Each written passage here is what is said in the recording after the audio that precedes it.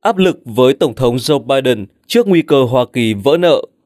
Tổng thống Biden từng tuyên bố không đàm phán với phe Cộng hòa về trần nợ công, nhưng áp lực từ chính Đảng Dân Chủ đang thúc đẩy ông làm như vậy. Hoa Kỳ hồi tháng 1 chạm trần nợ công 31,4 nghìn tỷ đô la do Quốc hội thiết lập, buộc Bộ Tài chính phải triển khai các biện pháp đặc biệt để duy trì chính phủ hoạt động. Bộ trưởng Tài chính Janet Yellen cảnh báo Hoa Kỳ có thể vỡ nợ vào ngày 1 tháng 6 nếu Quốc hội không giải quyết được bài toán nâng trần nợ công. Quốc hội Hoa Kỳ đã nhiều lần nâng trần nợ, nay giới hạn vay nợ của chính phủ để thanh toán các chi phí phát sinh. Tuy nhiên, chính quyền Tổng thống Joe Biden lần này gặp nhiều khó khăn sau khi phe Cộng hòa kiểm soát Hạ viện. Các thành viên Cộng hòa tại Hạ viện tuyên bố chỉ chấp thuận nâng trần nợ với điều kiện chính phủ phải thực hiện các khoản cắt giảm chi tiêu lớn. Giới chuyên gia kinh tế cảnh báo rằng nếu trần nợ công không được nâng lên khiến nước Mỹ vỡ nợ, nhiều hệ quả nghiêm trọng sẽ xảy ra với kinh tế cũng như an sinh xã hội của Mỹ. Chính phủ Mỹ không thể thanh toán các nghĩa vụ nợ, thị trường tài chính bị ảnh hưởng. Bộ Tài chính có thể phải hoãn chi trả cho khoảng 66 triệu người thuộc diện nhận trợ cấp hàng tháng. Dù vậy, trong nhiều tháng qua, Tổng thống Biden giữ lập trường cứng rắn rằng trần nợ không phải là lá bài để mặc cả và Đảng Dân Chủ sẽ không cho phép phe Cộng Hòa coi nguy cơ Mỹ vỡ nợ làm công cụ gây sức ép. Thư ký báo chí Nhà Trắng Karine Jean-Pierre ngày 12 tháng 5 tái khẳng định chúng tôi sẽ không đàm phán về giới hạn nợ. Theo giới quan sát, lập trường cứng rắn của ông Biden về trần nợ bắt nguồn từ kinh nghiệm quá khứ, khi Đảng Cộng Hòa năm 2011 kéo các cuộc đàm phán nợ công với chính quyền Tổng thống Barack Obama đến bờ vực sụp đổ, dẫn tới hạ xếp hạng tín dụng của Mỹ. Tuy nhiên, cách tiếp cận của ông Biden lần này tỏ ra không thực tế và không bền vững, đặc biệt sau khi Chủ tịch Hạ viện Kevin McCarthy tháng trước đã thúc đẩy phe Cộng hòa ở Hạ viện thông qua dự luật nâng trần nợ công đi kèm cắt giảm chi tiêu chính phủ. Trước khi dự luật được Hạ viện thông qua, Đảng Dân Chủ đã hy vọng có thể thuyết phục các thành viên Cộng hòa có quan điểm trung lập chống lại McCarthy và giúp thông qua tăng trần nợ. Song những nghị sĩ đó lại bị thuyết phục bởi Chủ tịch Hạ viện. Họ chỉ trích ông Biden đã tổ chức đàm phán về trần nợ công. Khi các thành viên trung lập của Đảng Cộng hòa tại Hạ viện không thay đổi lập trường, nhiều thành viên phe Dân Chủ cũng bắt đầu mất kiên nhẫn với cách tiếp cận của Tổng thống Biden và tiến hành các cuộc đàm phán lưỡng đảng của riêng họ. Chúng tôi tin rằng điều quan trọng là cả hai bên ngồi xuống và cố tìm cách giải quyết vấn đề. Nghị sĩ George Gottemer, nghị sĩ Dân Chủ, giữ chức đồng chủ tịch nhóm lưỡng đảng Problem Solver, nói hồi tháng 5. Điều này không thể trở thành một phần của cuộc đấu đá chính trị và đẩy đất nước vào cảnh nguy hiểm. Sau áp lực từ chính các thành viên Đảng Dân Chủ, Tổng thống Biden bắt đầu thay đổi quan điểm. Từ đầu tháng 5, ông đã tổ chức hai cuộc họp với McCarthy và các lãnh đạo hàng đầu của Quốc hội Mỹ tại Nhà Trắng để thảo luận về các điều khoản nâng trần nợ công.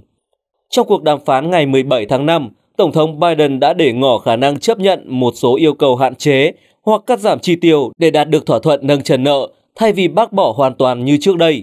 Ông chỉ còn phản đối các khoản cắt giảm chi tiêu, ảnh hưởng tới những chương trình chăm sóc sức khỏe của người dân. Việc ông Biden sẵn sàng thảo luận cởi mở về các biện pháp cắt giảm chi tiêu mà Đảng Dân Chủ thường phản đối, cho thấy cuộc đàm phán đang dần thu hẹp về các chính sách cụ thể. Nó cũng cho thấy Nhà Trắng dường như cảm thấy thoải mái hơn với một số nhượng bộ với phe Cộng hòa ngay tại Hạ viện. Trước khi lên đường tham dự hội nghị thượng đỉnh G7 tại Nhật Bản, ông Biden đã chỉ định ba trợ lý hàng đầu tiếp tục các cuộc đàm phán trần nợ, nói rằng ông sẽ giữ liên lạc thường xuyên với họ trong suốt chuyến đi. Tôi tin tưởng rằng Chúng tôi sẽ đạt thỏa thuận về ngân sách và nước Mỹ sẽ không vỡ nợ. Chúng tôi sẽ tìm được tiếng nói chung vì không còn lựa chọn nào khác. Ông Biden nói, nhấn mạnh coi đây là đàm phán về ngân sách thay vì trần nợ, điều mà ông nhiều lần tuyên bố không phải là vấn đề mặc cả. Trong thời gian ông Biden dự hội nghị G7 ở Nhật, cuộc đàm phán trần nợ giữa Nhà Trắng và Đảng Cộng Hòa tiếp tục lầm vào bế tắc khi cả hai bên chỉ trích lẫn nhau. Người phát ngôn Nhà Trắng Karine Jean-Pierre ngày 20 tháng 5 nói những đề nghị mà Đảng Cộng Hòa đưa ra trong cuộc thảo luận mới nhất mang tính cực đoan, đảng phái và không bao giờ có thể được thông qua ở lưỡng viện Mỹ. Trong khi đó, Chủ tịch Hạ viện McCarthy cáo buộc Nhà Trắng đi lùi trong các cuộc đàm phán. Các nguồn tin nói với báo chí rằng Nhà Trắng sẵn sàng chấp nhận cắt giảm chi tiêu quốc phòng và một số khoản phi quốc phòng, nhưng phe Cộng hòa không chấp nhận, với lý do đề xuất này chưa cắt giảm đúng mức nợ quốc gia dài hạn. Do vậy, Tổng thống Biden vẫn tỏ ra lạc quan. Phát biểu tại cuộc họp báo ở Hiroshima trước khi kết thúc hội nghị thượng đỉnh G7 và lên đường trở về Mỹ, ông Biden cho hay ông không lo ngại chút nào về các cuộc đàm phán trần nợ. Tôi tin rằng chúng tôi có thể tránh được nguy cơ vỡ nợ và làm được điều gì đó đúng đắn, ông nói. Giới quan sát cho rằng đàm phán nợ công cũng là cơ hội để tạo cú hích cho ông Biden trước thềm cuộc bầu cử tổng thống năm sau, khi Đảng Dân Chủ lo ngại kịch bản vỡ nợ có thể tác động tiêu cực với vị thế của ông trong công chúng Mỹ. Nếu Tổng thống Biden tiếp tục cố gắng tránh vỡ nợ và không để tầng lớp trung lưu Mỹ phải trả giá cho điều đó, ông ấy sẽ được lòng đa số cử tri. G.C. Ferguson, chiến lược gia lâu năm của Đảng Dân Chủ, cho biết. Tổng thống Joe Biden ngày 25 tháng 4 tuyên bố tái tranh cử năm 2024, kêu gọi nước Mỹ một lần nữa chọn ông để cứu nền Dân Chủ Mỹ. Ông trở thành ứng viên nổi bật nhất của Đảng Dân Chủ, trong khi đối thủ cũ Donald Trump cũng đang là người nhận được nhiều ủng hộ nhất trong Đảng Cộng Hòa. Video thông báo tái tranh cử của ông Biden cho thấy ông xem chủ nghĩa cực đoan MAGA làm nước Mỹ vĩ đại trở lại là mối đe dọa nghiêm trọng với nền dân chủ.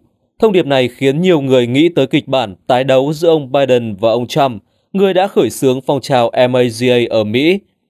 Dù hơn 18 tháng nữa người Mỹ mới bắt đầu bỏ phiếu bầu tổng thống và có thể sẽ có những biến động làm thay đổi quan điểm của cử tri, nhiều người vẫn cho rằng nỗ lực tái tranh cử của ông Biden sẽ đối mặt với nhiều thách thức lớn.